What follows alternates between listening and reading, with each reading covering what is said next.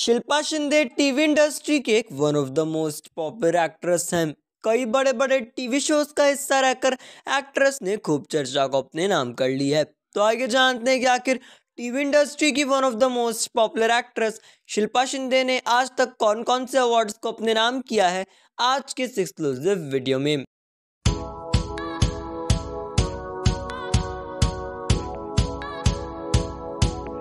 Well, आपको बता दें, शिल्पा शिंदे टीवी के एक पॉपुलर एक्ट्रेस हैं। ये सबसे पहले इंडियन टेली अवार्ड्स में best actress in a comic role का खिताब अपने नाम करती नज़र आई, जो कि इन्होंने 2015 में किया अपने one of the most popular show and TV के पॉपुलर शो भाभी जी घर पर हैं। के लिए आपको बता दें, इस पॉपुलर शो में इनके पॉपुलर किरदार अंगूरी भाभी को ऑडियंस का भरपूर प्यार मिला, मगर जल्द ही एक एक्ट्रेस के द्वारा रिप्लेस कर दी गई। आपको बता दें, इनका one of the most popular show है, जो कि इनका one of the most controversial show भी है। इसके अलावा ये इंडियन टेलीविज़न अकेडमी अवार्ड्स में पॉपुलर कपल कॉमेडी का खिताब भी अपने नाम करती नज़र आई, जो कि अगेन ये अपने इसी एन टीवी के one of the most popular show Bhabhi ji Ghar पर रह के लिए करती नज़र आई। अगर आपको बता देंगे जानी मानी एक्ट्रेस शिल्पा शिंदे वैसे ही इन दिनों अपने बड़े बड़े शोज़ के कारण खूब चर्चा का विषय बनी हुई हैं और ये इन दिनों मैडम सर से भी खूब लाइमलाइट को बटोर रही हैं। तो वेल आपको जानी मानी एक्ट्रेस शिल्पा शिंदे का